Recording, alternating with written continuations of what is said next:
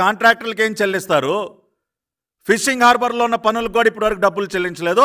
పెద్ద పెద్ద పోర్ట్లు కడతారంట. కాబట్టి వాళ్ళ ఈ మీడియా సమావేశం ద్వారా నేను రాష్ట్ర ప్రజలందరికీ తెలియజేస్తున్నా.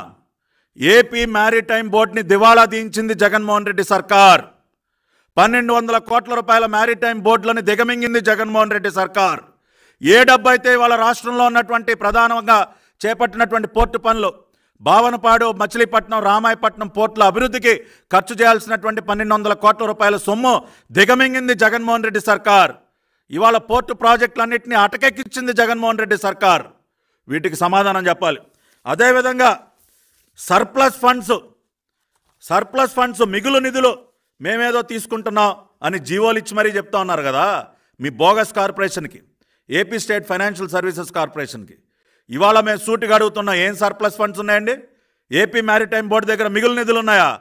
ఆ రకంగా రికమెండ్ చేసినటువంటి అధికారులు కూడా సమాధానం చెప్పాలి.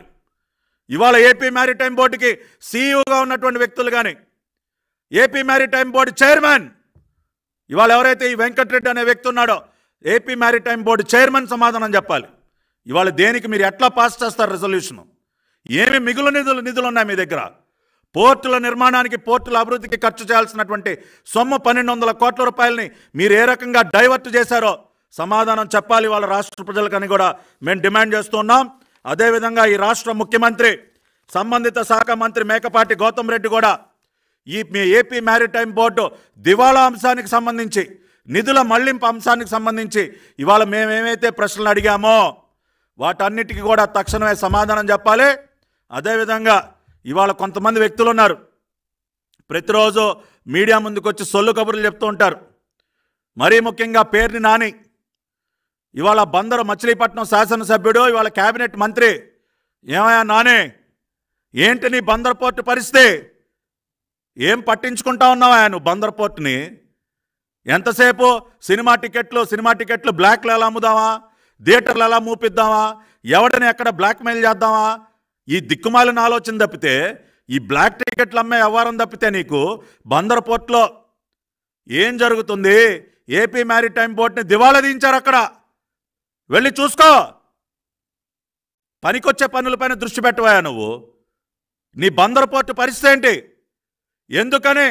ఇవాళ ఎన్నిసార్లు టెండర్ డేట్లు మార్చినా కూడా ఎవడు కూడా టెండర్ వేయట్లేదో సమాధానం చెప్పాయా సిగ్గుపడవా నువ్వు. స్థానిక శాసనసభ్యుడిగా. మచిలీపట్నం నియోజకవర్గానికి ప్రాతినిధ్యం వహిస్తూ ఆ రోజున చంద్రబాబు నాయుడు గారు ఎంతో కృషి చేసి ఇవాళ భూసేకరణ విషయంలో కానీ అన్ని అన్ని రకాలుగా కృషి చేసి ఆ రోజున శంకుస్థాపన చేస్తే ఇవాళ అక్కడ ఉన్నటువంటి మా స్థానిక నాయకుడు మాజీ మంత్రి కొల్లు రవీంద్ర గారు అక్కడ ఎంతో కృషి చేసి అక్కడ శంకుస్థాపన కూడా చేస్తే బందర్ పోర్టుకి రెండున్నర సంవత్సరాలుగా దానిని అటకెక్కించి పూర్తిగా సర్వనాశనం చేసి మ్యారిటైమ్ బోర్డు నిధులన్నీ కూడా దిగమింగుకుని మీ దిక్కుమాలిన ప్రభుత్వం నువ్వు మాట్లాడుతావు మీడియా ముందుకు వచ్చి సమాధానం చెప్పు బందర్ పోర్టు గురించి. ఈ బ్లాక్ టికెట్ల వ్యవహారం పక్కన పెట్టి కాసేపు రాష్ట్ర ప్రజలకి మచిలీపట్నం పోర్టు గురించి సమాధానం చెప్పాయా ఎందుకని? ఇవాళ ఎవడు కూడా టెండర్ వేయనటువంటి పరిస్థితి వచ్చిందో సమాధానం చెప్పు. మీ దిక్కుమాలిన ప్రభుత్వం మీ అవినీతి ప్రభుత్వం మ్యారిటైమ్ బోర్డు నిధుల్ని ఎందుకు కాజేసిందో సమాధానం చెప్పు. ఇవాళ ఈ విషయాలకన్నీ ముందు బందర్లో ప్రెస్ మీట్ పెట్టి సమాధానం చెప్పు. ఈ బ్లాక్ టికెట్లు ఎవరు? ఇది ఈ దొంగ పంచాయతీలు కాసేపు పక్కన పెట్టి మచిలీపట్నం పోర్టు గురించి మాట్లాడమని ఈ పేరుని నానిని కూడా డిమాండ్ చేస్తున్నా. అదేవిధంగా మొన్న గంగవరం పోర్టు విషయంలో నేను బయట పెట్టిన తర్వాత ఆధారాలు మొఖం చాటేశారు. ఇవాళ సిగ్గు లేకుండా డెబ్బై రెండు గంటలైన సమాధానాలు చెప్పట్లేదు. ఇప్పుడు మళ్ళీ మొ